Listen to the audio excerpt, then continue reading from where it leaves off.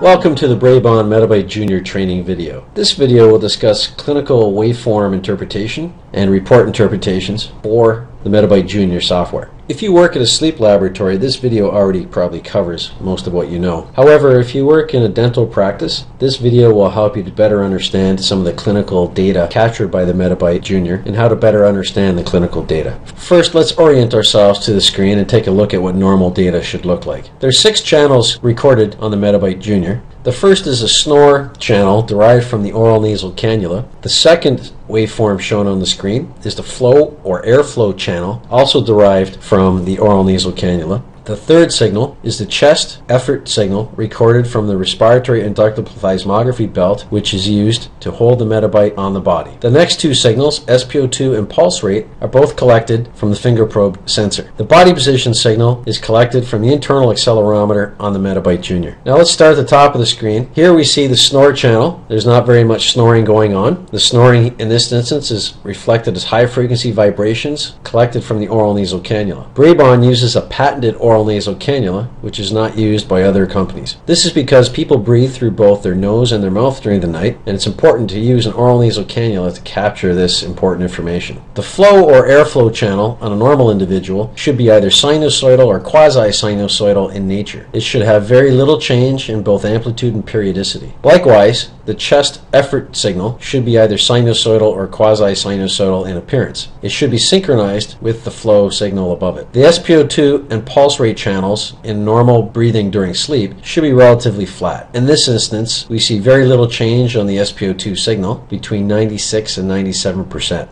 A 3% or 4% drop in their arterial oxygen saturation would be clinically significant. But what we see here on this screen is a relatively steady state between 96 and 97%. Likewise, with the pulse rate channel, we see very little change between 43 and 46 beats per minute. And of course, the person remains in one position during this display and they're on their left side. The histogram shown below indicates the entire recording during the night. This black band indicates where we are currently in the recording, which is 3.38 in the morning. If I select a wider display width, for example 300 seconds, this black band becomes wider or thicker. For respiratory information, we typically look between 90 seconds and 360 seconds in display width. If you look at a display width which is too short in time, for example 10 seconds or 5 seconds, the data is rather meaningless. Because respiratory effort activity is a slow frequency, we typically would use a display width of 90 seconds or longer, up to 6 minutes. On the histogram, we show the total night for the SpO2, pulse rate,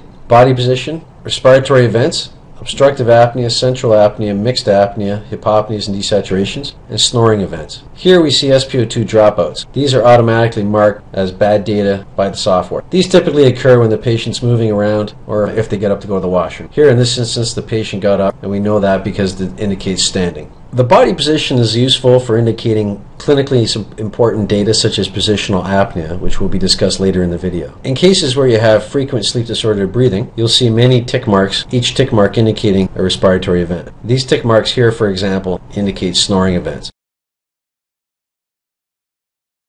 First, let's discuss apnea. There are three types of apneas obstructive, central, and mixed. An obstructive apnea is defined as a cessation or stoppage of breathing of at least 10 seconds during the night. This means the person stops breathing for 10 seconds or longer, and that is why it is absolutely essential that a device that records airflow is used to define and record sleep apnea. Braebon uses an oral nasal cannula which records both nasal breathing and mouth breathing during the night. If you use a nasal nasal cannula only, you will miss a lot of clinically significant information. So all apneas are defined as a cessation of airflow of at least 10 seconds or longer. What's the difference between obstructive, central, and mixed? Well, the difference between those three comes down to the respiratory effort channel. And that is why it is absolutely essential that you use a device that defines and records apnea using respiratory effort on the trunk of the body. That's because our lungs are located in our chest and we breathe through our chest. So an obstructive apnea is defined as a cessation of airflow of 10 seconds or longer while there is continued respiratory effort, as shown here by the continued sinusoidal waveforms on the screen. These sinusoidal waveforms indicate continued respiratory effort. Think of a vacuum cleaner. If you put your hand over the intake nozzle on a vacuum cleaner, you'll have a cessation of air passing through it, which is what you see here on this obstructive apnea event, indicated by this highlighted area. This flat line indicates no airflow. Beneath it, on the chest channel, you see continued respiratory effort in much the same way as you hear the motor straining on the vacuum cleaner. You block the intake, no air goes through, but at the same time, the motor starts to strain. In a central apneic event, you have a cessation of airflow, while at the same time you have a cessation of effort. To use the vacuum cleaner analogy again, this would be analogous to pulling the power cord out from the wall on the vacuum cleaner. In other words, you have a central respiratory mechanism shutdown, which means no ventilatory effort shown, while at the same time a cessation of airflow. The central respiratory mechanism in the brainstem has shut down and is no longer sending signals to the body to breathe. This is why it's absolutely essential that you record both chest effort and airflow using an oral nasal cannula. If you're using a device that does not record at least these two parameters, you're missing a lot of clinically significant information. Now let's take a look at a mixed apneic event. In a mixed apneic event, you still have the cessation of airflow, of course. However, the beginning of the event has a corresponding cessation of effort followed by a resumption of effort. Here we see that there's a cessation of effort, and in the second part of the event, we see a resumption of effort. This defines a mixed apnea. It is simply a combination of both an obstructive and central event. Mixed apneas are typically treated the same way an obstructive apnea would be treated. Now, having discussed the three types of apneas, Let's go back to an obstructive apnea and look a little more closely at the particular event.